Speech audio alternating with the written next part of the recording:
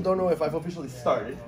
Uh, but this is going to be, so I do a lot of public speaking. A lot of public speaking, usually to insurance leaders. Okay? So I love the chance to speak to the future leaders of the industry. The, and usually I have beautiful slides des- designed by Jacobson's marketing people and, and like a well tested, well run, well oiled machine of a presentation. Today you get the exact opposite. Okay? So this is presentation is gonna be weird. Okay? I have like a hundred slides. We will not have time to get through all of them, I guarantee it. Okay? Uh, so basically, what's going to happen is that I'm, I'm going to record. And what's your name? Darren. Darren. Thank you. So Darren is, is going to is to record the presentation, and wherever wherever we, and there's no questions during the presentation because I'm really going to like run through it. Okay. Uh, wherever we end up, that's fine. What I'm going to do when I get home tomorrow, I will record the second part of the video with the rest of the slides I had, and then everything will get uploaded to YouTube, so you'll be able to catch whatever you missed. Okay. Questions are welcome after we walk out of this room. I'll be here for the rest of the day. I'll be here tomorrow in fact. So, so questions are welcome after, but I want to get to as much material as possible. And the slides were not designed. Come on in, come on in. Uh, we, we saved the seat for you. You can't move it. Uh, okay, okay, okay. Come on in. Come on in. Uh, so uh, you can move the seat. Uh, uh, there we go. Uh, okay, so the slides have almost no pictures, almost no color. They're literally black text on white background, usually a word or a phrase just to remind you what's next. Okay? Some of them have a book to dig deeper into that topic. Okay? And, and some of the ones that have a book have a QR code. Okay, so if you do want to add that book to, to, to your Amazon wish list, take a picture of the QR code, you're good. But anyway, the slides are going on YouTube probably Monday. Come on, we saved you a seat if you want to. Uh, come on in, come on in, come on in. We've, we've, got cele- we've got celebrities in the room. Nick Lamparelli, the, the, the voice of uh, Profiles in Risk. This man invented podcasting when it comes to, to, to, to, the carrier side of the insurance industry. I'm the Al Gore. uh, 175 episodes. Uh, so Nick, Nick basically said, "You guys need a podcast." I said, "Yeah, but I don't know how." He said, "I don't know either, but I'll figure it out." And I said, "I will totally sit with you. We'll do this together." 15 episodes later, I dropped out basically, and he's done another 100 episodes later. Yeah, and, and he's done another 170 episodes by himself. Uh, just uh, amazing, man. Uh, and Matthew Maxwell, recent CPCU. Those of you who are not, well, none of you are CPCUs. When you graduate, get your CPCU. We'll talk about that. So, so anyway, I'll kind of reintroduce real quick. Uh, and somebody's going to have to stop me when we run out of time, by the way. So somebody kind of keep track of that. Okay, perfect.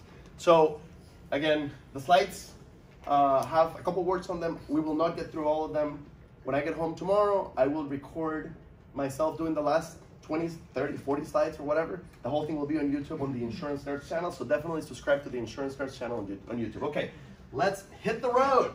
Okay, first of all, first piece of advice, realize how lucky you are. Only between 10 and 15% of uh, of insurance people come with an RMI major. So you guys are going to come into the industry as absolute rock stars. You've already had, I guaranteed, a rock star experience. You get to go to the Gamma conference. Many of you get to go to CPCU.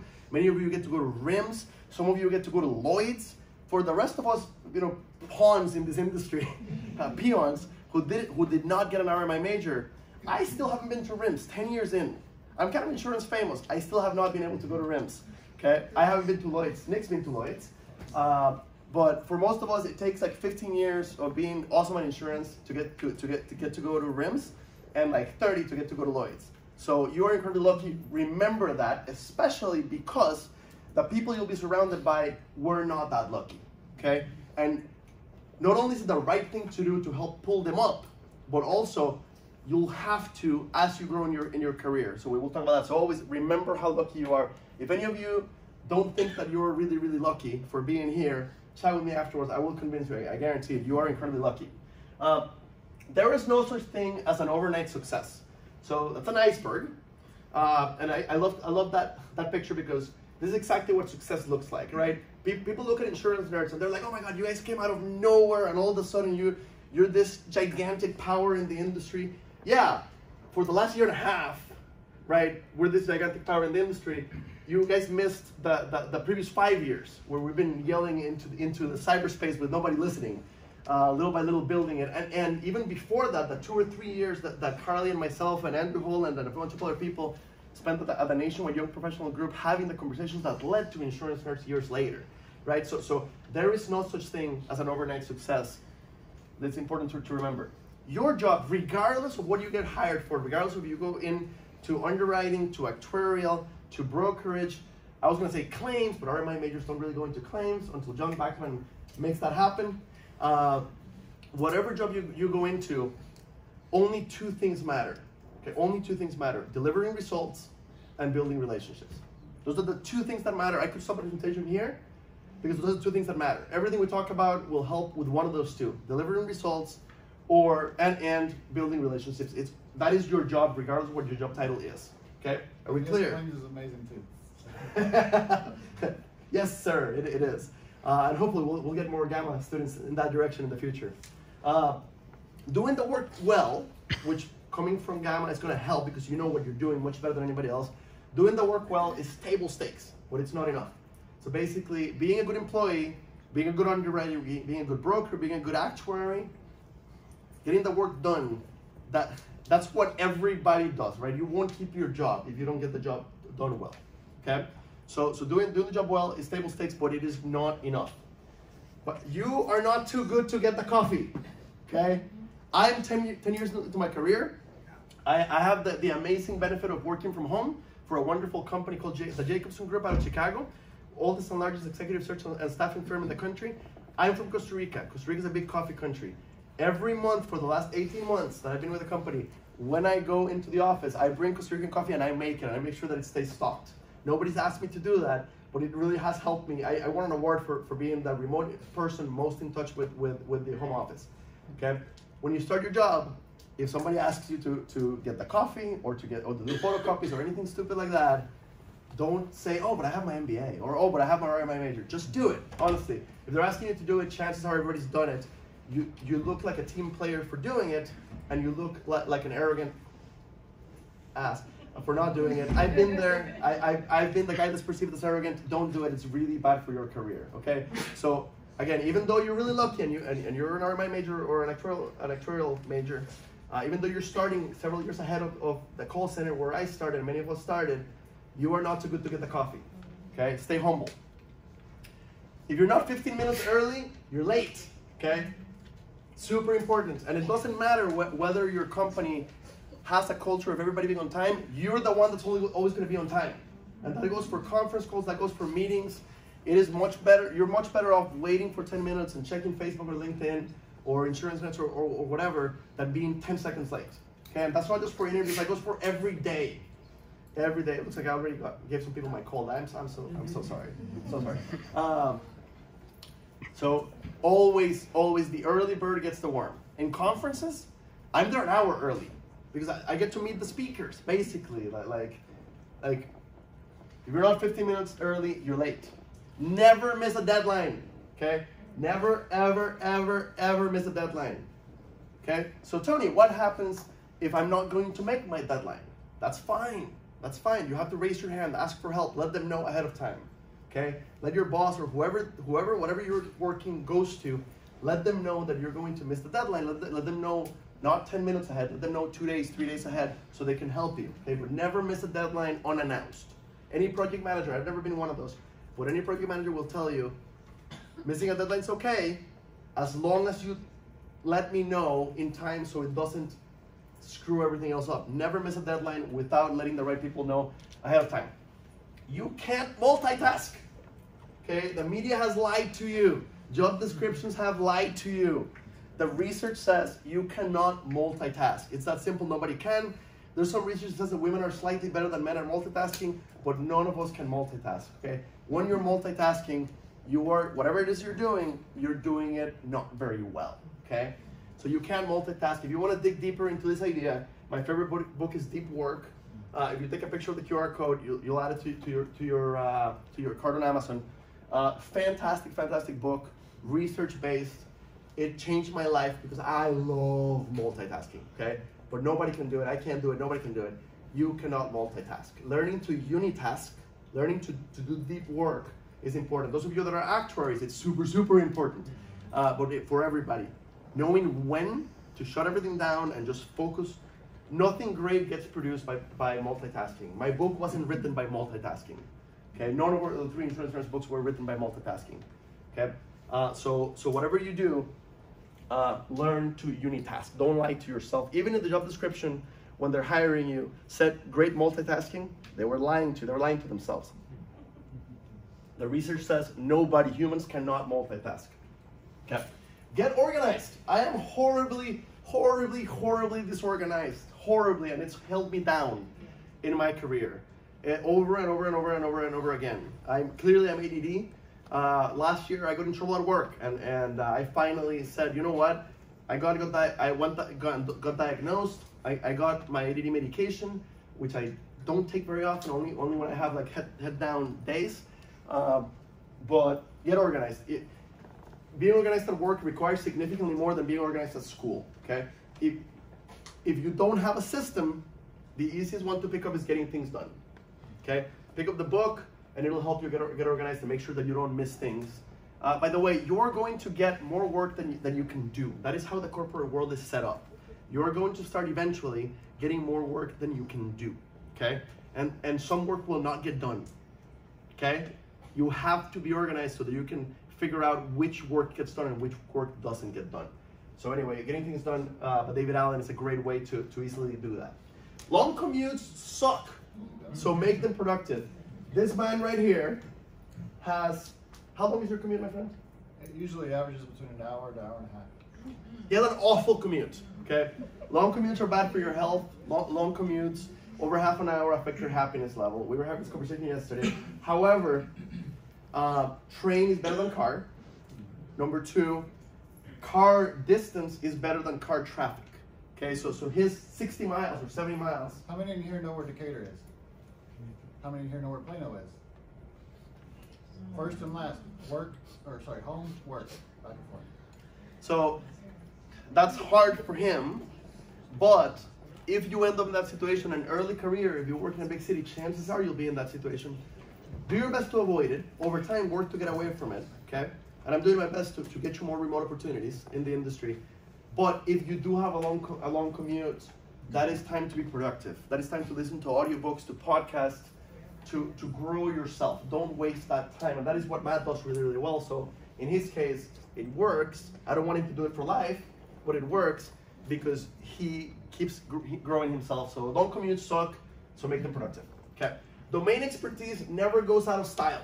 Even in the insurtech si- side of the world, being an, an expert and you're already you're starting like five years ahead of most other brand new insurance employees because of your risk management major and the exposure you've had that's that's gives you a, a big a, a big head start today okay? It's not a permanent head start okay? So depending on which area of the business you go into continue educating yourself. If you're if you're in the property casualty carrier side cpcu we have one two three four uh, we have at least five cpcus in the room. Believe me it pays. It was a career making for me and a few thousand of my closest friends. It's an amazing community too. Uh, truly like i'm not exaggerating on that uh, if you go into the brokerage space, CIC, if you go into a life space, CLU, if you go into a professional liability space, RPLU. And there's many, many, many, many, many more. Those are just kind of the big dogs in the industry. I would start working on one of those the first day your company is willing to pay for it, which might be at the end of your first year or at the end of your first day. But I would start working on them right away. Basically, domain expertise never goes out of style. Experience only comes with time, but technical education can happen quickly. I did my CPCU in five months. I don't recommend doing it that way. Carly did hers in 12 months. I, I had three waivers. Uh, Carly did hers in 12 months. I know people that have done them in three or four months. I don't recommend doing it that way, but you can. Okay. The beauty is that let's say a two-year pace. You just start on day one, and they won't give it to you until you have two years of, of work experience in the industry. A two-year pace, you finish your, your, you finish year two. You now have two years of experience. You have an RMI major. You have a CPCU. You are unstoppable, and you're incredibly valuable. Okay, so so definitely. Uh, so yeah, experience only comes over time. Don't assume that your CPCU, CLU. I have ten designations. Don't assume, uh, and I made this assumption that with my 10 designations, I'm an expert and I can do anything I want. Well, I had no underwriting experience. It was very, very hard to get that first under, underwriting uh, op- op- opportunity. Uh, don't assume that just education is enough. Experience, yes, sir. I'm gonna say, since we're here in this environment, I don't want us to miss a huge opportunity, because everything he's saying is, is on point and absolutely important. There's a lot of people, especially your age, you have that, that mental agility to be able to, I can knock this out in six months or whatever, that's awesome, that's great. But there's going to be someone, if not more than one person, sitting in this room right now, that's gonna start that journey, that's gonna get in their career, life's gonna get busy, work's gonna get busy, you're gonna start families, you're gonna start this journey, and it's gonna feel tough, it's gonna get tough. Sometimes catastrophic things in your own personal life might happen. You might be thinking that life's going great, you're married, you're, you've got kids, things are going well. Something can happen to flip all of that upside down, like a divorce or what have you. But even if that happens, in those challenging moments, remember your why. Remember the passion you have for this career and where this can take you. If you're halfway through the journey or you've got a couple exams in or, or whatever the case is, if you're down to your last one, you feel like you can't do it because it's just too much. So t- take a breather. Keep, And just, get no back on the matter how horse. long it takes. No matter how Seven long it years. yes. Seven years from me. no There are people it that have taken 30 years. it. It's still worth it. Thank you, thank you, Matthew. Uh, influence. At the beginning, you're probably not going to be a manager, right? I have to this day, I have to this day not been a manager. 10 years in, in fact, at this point, I have figured out I don't want to be a manager, okay? Uh, many of you will grow to be managers, but you won't start as a manager, chances are. So learning how to influence is absolutely important. I and, and Insurance Nerds, I'm just the face of it, but Insurance Nerds has brought incredible changes to this industry. We have student loan reimbursement in this industry because we brought the idea in four years ago and fought for it. Okay, and I'm seeing changes happening in the industry because of the stuff that, that, that we do. And again, I've never been a manager. I just brought the, the ideas in and kind of spearheaded them. Learning how to influence without authority is absolutely crucial for your for your career. Um, this is the best book on it. Robert Cialdini is an actual researcher. I always try to recommend uh, empirically based, uh, research-based books. Uh, he has three. This is his like business book. Uh, there's another one if you're a real nerd. There's another one that is like his research. But anyway, research-based ways to influence people. Very quick example: the the, the Benjamin Franklin rule. If people do you a favor, they like you better than if you do them a favor, right? Well, this guy's done a ton of research on many, many, many, many ways to influence without authority. Definitely worth a, a read early in your career. Five years of experience is very different from doing the same year five times. Okay, you're probably going to start in a nice place compared to where I started in the call center. Okay, if you're still learning, good. Stick stick around. Keep keep learning. The moment you're no longer learning, right? If, if the job you get to the point where you're doing it with your eyes closed, that is exactly the time to go ahead and apply for, for, for the next job. Don't stay at a job where you're no longer lear- learning, right? Five years as a, as a commercial underwriter, doing the same accounts year after year, is not five years of experience. Okay, so and this goes for the rest of your of your career. Network in all directions, both internally and, and externally. Okay, don't be one of those people, and I, I know a few that only network up, and they're really really good at networking with the leadership, and they ignore their peers and they don't help people rise. Okay, network in all directions. So there's two different books for, for this. How to win friends and influence people is the classic. It's from the 1920s or 30s. Uh, Taryn, who is here and is speaking later today, ca- calls it "How to Be a Sociopath for Dummies." She hates it. It's really old-fashioned. Personally, Never Eat Alone is a much more modern version. It's from the early 2000s. Never Eat Alone is fantastic. Uh, either of those will teach you how to network well. Okay, so the, be nice to, to, to the people as you pass them by. Uh, to the people that, that you see as, as, as you grow to the top, because you'll see you, you'll see them again when you're when you're coming to the bottom. Uh, so anyway, networking is important. Uh, get to know people both above peers and below you, and the ones below you help them help them grow. Give to your network without keeping count. People ask me how I built the insurance nerds to a, to a 17,000 connections on LinkedIn. We reach about 45,000 insurance people. Basically, if we're connected on LinkedIn, I will make an introduction for you. If we're connected on LinkedIn, I will take time out of my schedule to have a conversation with you about your career. Okay? It's that simple. The fact that you're in insurance is all I need. You're part of my network. Okay? And what, what that does is people are always thrilled to help me out when I'm asking them for help. Okay? So give to your network without keeping count. That way you multiply what, what, what you, what you get back. Show, don't tell how good you are. I was really bad. I, I was I had my CPC and my MBA, and I felt like a rock star, right? And, and I went into this leadership development program at Nationwide uh, in the finance area, and I don't have a finance background. Uh, and I failed horribly, horribly failed in that program. I failed forward, but I failed. And, and uh, I got real feedback for the very first time ever. Many carriers are shy about giving you real feedback, and the hardest feedback wa- was you keep telling us that you're a CPCU. You keep telling us about your MBA. Don't tell me. Show me how good you are. Okay? Don't tell people you're an RMI major. Show them you're an RMI major. Does that make sense? Show, show, don't tell how good you are. Feedback is a gift. Okay? And some of us, and you guys are Gen Zers, so not so much, but some of us millennials, we never got real feedback, right? We, we got an, an eight, eighth ribbon, an eighth place ribbon on, on an eight lane pool, mm-hmm. right? We're addicted to feedback, but some of us never got real feedback. Hopefully, if you're lucky, if, if I've spoken at your company, you'll get real feedback. Feedback is a gift. Okay? Feedback is a gift.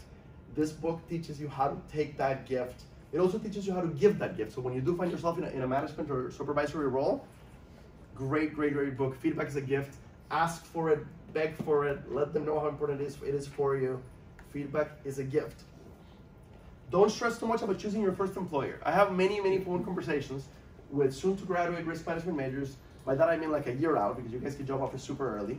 Uh, and, and they generally go like this Tony, I have competing offers from a broker and a carrier, and I don't know which side I want to go. Or I have competing offers from this carrier and this other carrier, and I don't know which which side I, I want to go. And I'm really stressed about it. I remember those times. I didn't have multiple offers, but I remember being stressed out about, about where I was going to end up. Don't stress too much about it because number one, if you go there and you hate it, you get two years of experience, you let them pay for your CPCU, and you go elsewhere for a 40% raise. That's the market we live in today. Okay. On, on the other hand, if you go there and you love it, you get your two years of experience, you let them pay for your CPCU, and then chances are they won't be able to pay you what you're worth in the market. So you might have to leave and come back. Okay? So don't stress too much about your first job. Find somewhere where you like the people, find somewhere where you'll learn. That is the biggest thing. Find somewhere where you will where they will invest in you. As long as you get that right, you can't go wrong. Don't worry too much about, about, about your, your first job. Chances are you will not be there forever. Okay? Uh, becoming a manager is not the same as becoming a leader. It really, it really isn't. Okay? I have never been a manager. I've had the title sales manager, which, which means that, that I uh, manage uh, relationships with brokers for an insurance company, uh, but I've never been a people manager. Okay? But most people in the industry would say that I'm a leader in the industry. Okay? Um, so there are different things, and sometimes you'll have managers who are not leaders, who are just managers. That happens, and you can't manage your manager, so it's just the way it is. Okay? That's fine. So those are different things. I do want you to, when you grow to be a manager, I want you to be a good manager, but I want you to be a good leader today. Okay, right away. Uh, there's a couple of resources you should have there to become the best leader you can. Lead at any level. Any any wanting to lead at any level is probably the best resource for for for leadership stuff. And and uh, when you become a manager, manager-tools.com. 13 years of podcasts, not insurance specific, amazing content. They also have career-tools.com. Anyway, you if, if, if you're out of podcasts to listen to in the commute, this is one that you should listen to. Even the old episodes, they're topical. So basically, how to hire, how to do a resume, and they're half an hour long. Uh, they're, they're, they're timeless, not timely. But anyway, uh, they'll help you become a great manager. And Amy at the Leader Level can help you become a great leader. Uh, dress for the job you want, says the guy dressed in Superman shirt and the cape. Uh, but stay authentic to who you are. So this guy dressed in Superman uh, shirt, uh, for the first several years of my career, suit and tie every day, even though the, even though that was overly formal for Nationwide Insurance. First time I, I went to CPCU annual meeting, first three times, suit and tie from the moment I got on the plane to the moment I got back home. Uh, I walked all over Vegas. I destroyed my feet with the formal shoes. Um, dress for the job you want. Yes, that, that is good advice. You guys were all dressed up yesterday. Definitely do that for the first few years while you build yourself a brand. Okay? Remain authentic to who you are. And as you build yourself a brand, and as, as people get to know how good you are, as you've shown them, don't tell them, as you've shown them how good you are, you can start relaxing uh, and help us relax this industry for the next generation. okay, which is where I'm at now, right? Relaxing the industry for the next generation.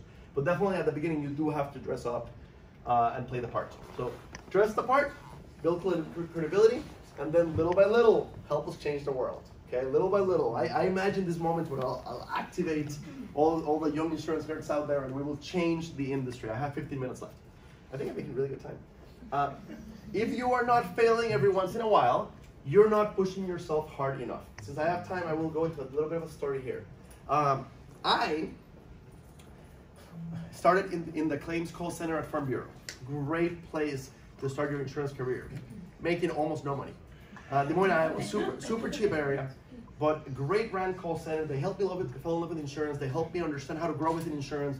They did such a good job that I got recruited by Nationwide out of the call center and put it into a, into a claims role at a Nationwide, not call center. Uh, I got my CPCU there because of, of, of uh, Farm Bureau's great advice, and I used that CPCU to get an underwriting job. Uh, as soon as I accepted the job, I asked because they, they gave me like a $1,000 raise. I had just finished my CPCU and my MBA, got this cool new job, and they gave me a $1,000 raise, putting me in the lowest part of the pay band for an underwriter at Nationwide Insurance. So I asked, if I am the best underwriter you ever have, if I perform, when could I get a, a promotion to senior underwriter? Meaning, because I know you're never gonna give me a raise in seats, like a real raise. So, meaning, when can I get paid for, for what all I've, I've done? And the answer was, regardless of performance, I have a very tenured team, so I can't afford to promote you for at least five years. Not a great answer, right? So, and I love Nationwide. We're a great company. It's just the reality. I, I'm glad that she was honest with me. So I did that for a year. I learned a lot about ag underwriting. Uh, and then I managed to talk my way into the, the Nationwide Financial Leadership Rotation Program. An amazing leadership development program, mostly for brand new people. I was only a third or fourth people coming from uh, an internal role. Uh, I'm not a finance guy. They invested a lot in me. I learned a lot. Uh, it was an amazing experience, and I failed. I failed horribly. I got a one in my performance review. Okay, uh, the only reason I didn't get fired is because I had a record with the company, and they knew that that I was a solid underwriter, and they helped me land on my feet. So I, I, I failed forward, and I ended up in a role as a sales manager that would have taken me five or six years to get to. Also, I got a 43% raise to, to when I went into the F, into the FLRP, and then I got another $5,000 raise when I failed out of it. Uh, it, it, was an inflection point for my career. Okay, uh, and I am way ahead of where I would be if I hadn't tried that. Don't be afraid to fail. Failing's okay. If you never fail, you're probably not trying hard enough. You could be doing much bigger things and you just don't know it yet. Don't be af- afraid to fail. Work life balance matters. It really, really does. And luckily, this is an industry, especially on the carrier side, that we have really decent work hours. If you go into the executive levels, those might be tough. Claims can be tough in, in hours. Uh, brokerage, the first several years are, are tough in, in hours. Work life balance matters. Remember what I told you earlier. We will give you more work than you can do, especially as you grow a little bit. We will give you more work that you can do. Stay organized, prioritize it correctly, do the right work, and at a decent hour, go home.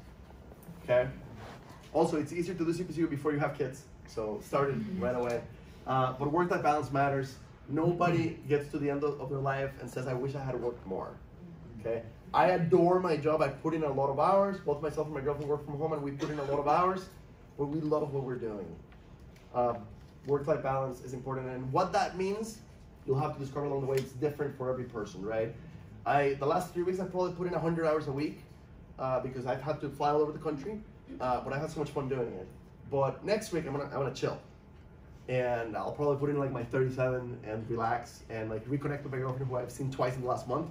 Uh, anyway, uh, never whine, never ever whine. The, the drinking kind is fine but no whining. Nothing is perfect. Always come with a suggested solution. So you are allowed and encouraged to point out the things we're doing wrong. Okay, and we're doing many things wrong. Many, many of them because we've been doing it that way for decades. Our systems suck all over the industry, our IT systems. Okay, don't whine. Come with solutions. Okay, I guarantee your boss will never resent you if when you bring up a problem, you also bring up a proposed solution. It doesn't have to be perfect but always come with a proposed solution. Uh, never whine without a solution, basically. Never whine, bring up problems, but always with a solution. Don't gossip, and I struggle a little bit with this one. Don't gossip, you'll get nothing out of it. Believe me, and getting a reputation as the office gossip is is career destroying. Don't gossip, don't gossip, don't gossip, don't gossip, don't gossip, don't gossip, don't gossip. Okay. Um, it's a career lattice, not a career ladder. And I should have a picture of a lattice. You guys know what those look like, right? It's not straight up. Uh, my career is a perfect example. If you had asked me five years ago what I wanted to do, I literally would answer, I would have I literally used to answer that question. I want to be CEO of Nationwide, and I figure that if I don't get there, I'll end up being CEO of a smaller carrier, and that's okay. Okay. Five or six years later, I've realized I don't even want to be a manager. Okay. And no, like I don't even want to be a manager. I want to do what I love. Okay, and there comes a point pay-wise that the research says. So the reason I wanted to be CEO is because I was making like thirty thousand a year, right? And, and I thought that that growing in management was the only way to to grow my salary. No, not at all. And there are companies where you can be a specialist, do very well in sales. You can do very well without becoming a manager. Become a manager if that's really what you want to do, but not just for the pay. There are other ways, and, and also it makes you a better rounded person if you move around a little bit and, and get broad experience. Okay, insurance is very siloed at times. Move around a little. It's a much better way to, to, to grow your career. But yeah, it's not a career ladder, it's not straight up. Chances are you'll have false starts, you'll fall down, pick yourself up, you'll switch disciplines, you'll do this, you'll do that. Eventually you'll find something you love. Okay, but it's not it's not it's not a ladder. Avoid major CLMs. I don't mean CLM the conference, which is the claims claims uh, legal conference, which is now part of, of CPCU. Does anybody know what a CLM is? No, no, none, of, none of the none of the uh, the students. Anybody know what a CLM is? A CLM is a career limiting move. Okay. Avoid major career limiting moves. The classics are getting too drunk at the company Christmas party, okay, or hooking up or, or hooking up with somebody's spouse. Okay, both of those are, are CLMs, especially if it's like a partner or your boss or a, a VP. Okay? Avoid major career limiting moves. Okay, don't be the drunk person at the Christmas party. Okay, avoid major career limiting moves. Happiness. I love this book. Uh, Shawn, Shawn Achor, uh, middle class kid from Texas. I believe from Texas, but yeah, middle class kid from Texas applies to Texas to, to Harvard on a dare and gets in. And he's like, I've got to go. So he, he goes to Harvard, stays for like 16 years, gets, gets his undergrad, gets his master's, gets his PhD, teaches for a while, writes a couple books. His research is on happiness psychology. What he found is that by interviewing, and the beginning of his research was interviewing uh, Harvard undergrads. They have the world by the short hairs, right? And he found that many Harvard undergrads were unhappy, even though all they had to do was get through school and they would graduate into really well paying jobs, families full of connections. And we're talking like kids of politicians here. Uh, and he found that many of them were unhappy and he couldn't figure out how that happened. So anyway, 16 years later, his research has found that society tells you that success leads to happiness. And it doesn't actually work that way. It's the other way around. Happiness leads to success. The happy kids end up being successful. Okay? The first half of the book is about that. It's about how happy people end up end up being more successful. I'm really, really lucky because I my natural happy, happiness level is really high. Yours might not be. At about the half point of the book, he says, I would be a complete ass if I if I spend half a book telling you how happiness will make you successful and then not tell you how to get happy. The second half of the book is research-based ways to be happier. It changed my life. It truly did. And it'll change your life in different ways that it changed mine. Uh, I, I read it just before going to the CPCU annual meeting in, in, in 2011.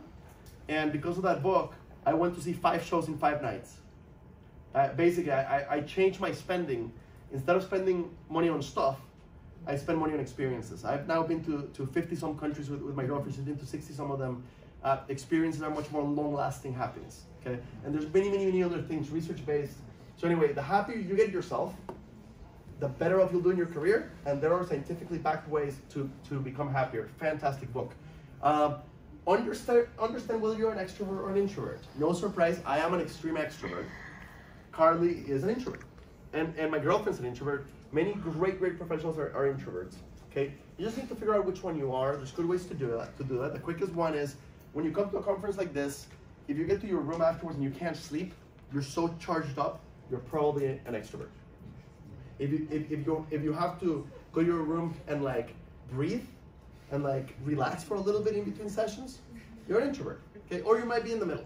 But learning which one you are and then using the best techniques to, to be as effective as you can is very, very helpful. Okay, so if you are an introvert, you read this book tonight. Okay, Quiet by, by Susan Cain, The Power of Introverts in a World That Won't Stop Talking. This book was a career maker for several introverts in my life, including Carly. That's, that's why I suggested. Uh, it teaches you a lot of tools on how to survive and how to thrive in, in a world that doesn't let you get a word in edgewise and where you end up exhausted after chatting with Tony. Okay? So fantastic book for, for, for, for introverts. For, uh, for extroverts, actually for both of you, brag. Okay, if you're an extrovert, brag will help you not offend people when you brag, right? And do it in a, in a way that's very measured. And if you're an introvert, it'll teach you how to promote yourself, which is an important skill. Okay, it's not just getting the work done. You do have to make sure the right people know how good you are getting the work done, and a good way to do that without without uh, blowing it is, is this fantastic book. Uh, learn to negotiate, even if that's not your job. Eventually, someday it will be. Learn to negotiate. We have a great article in Insurance Nerds, uh, which is illustrated by myself and Lisa Simpson trying to negotiate a speaking gig. But this book is not that long and it's absolutely fantastic. Getting to Yes. This is a follow up uh, called Getting Past No. But at the very least, uh, read Getting to Yes. Learn how to negotiate. Learn how to negotiate your salary. That's a special negotiation case. Okay? and I can help you with that, but read the book. Over time, by the way, women and minorities. Okay, I'm Latino. Uh, my girlfriend uses a wheelchair, so we have a like fully minority family basically. Uh, help us help you. Help us eliminate the pay, the pay gap. One of the biggest problems is women are less likely to negotiate. Minorities are less likely to negotiate. Please negotiate and learn how to do it well. We can advise you on it, but here's all the theory. Negotiate your salary. Play to your strengths. Gallup found that uh, through through a ton of research that Tony is never going to be good in analytical roles. That's why I failed at FLRP. Okay, but analytical roles early on in your career pay really well, so they were very tempting. Okay, that's how I ended up at FLRP. Okay, for me, I need a role that that that is the opposite of analytic. A, a, a role where I get people excited, right? Uh, a, a, role where, where crazy ideas are, are good things. Okay, play to your strengths. Okay, so read the book, take the test, learn what your strengths are, and then look for jobs that play to those strengths. You will never, regardless of how much, you can spend 100 hours a month on improving your weaknesses, or you can spend an hour a month on improving your strengths, you'll do better improving your strengths. So again, research-based, play to your strengths. Eventually, there will come a point where you can't get all your work done, okay? So I don't want you to read this book today. I want you to read this book in a couple of years. This, this book is, is kind of crazy, but it's scientifically based and basically teaches you in any job, once you've figured out the job, don't start this tomorrow. Once you've figured out the, out the job, about 20% of the things you do bring 80% of the results. Because you have to understand the job first to understand that connection. And there are things in, the job that are useless. This is how to figure out which is which. And then focus as much as you can on, on, on the 20, and you will dance laps around everybody else. One minute, one minute. Uh, ultimately, a single thing matters, the research says, and that's grit. Grit basically means sticking to it no matter what. It doesn't matter how many times you fall. Again, research-based book, doesn't matter how many times you fall, how many times you fail. All that matters is that you get back on the horse, what, Matthew was saying earlier, and that you keep going. Uh, the most impressive thing is helping other people. And this is kind of a long story. I'll, I'll finish it on the, on the YouTube since, since I'm kind of out of time. But uh, a great leader at Nationwide, uh, I got celebrated for finishing my CPCU super quickly.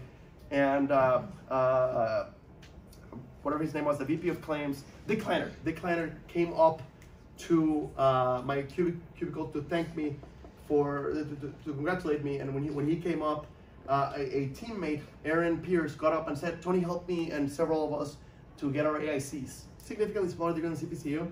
Then I emailed Dick to thank him, thank him for coming over. And, and, uh, and Dick said, the most impressive thing I, I saw today was not how fast you did CPCU.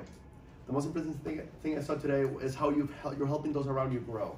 And it truly is, and it'll pay back over and over and over. And by the way, the reason that, that I need you to remember how lucky you are and I need you to network down and help people up is because eventually you will get to a role where it's not about what you can do, it's about what you can get other people to do. And that's where relationships re really come in uh, I actually, I think you looked my last slide. Good job, Tony. Um, I'm happy. Add me on LinkedIn. I'm super easy to find. I'm happy to open any doors that I can. I'm always available for career advice. And if I ever do help or this presentation helped, I only ask two things.